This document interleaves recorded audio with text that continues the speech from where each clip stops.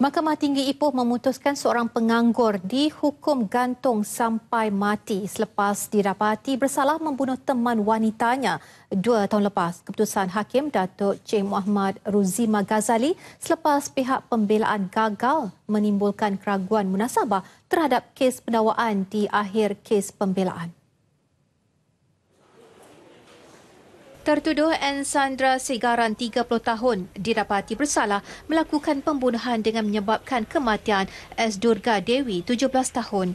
Tertuduh melakukan perbuatan itu di sebuah rumah nombor 4 Kampung Batu Besi, Ladang Sengat Simpang Pulai Ipoh kira pukul 11 malam pada 27 Februari hingga 6 pagi 28 Februari 2016.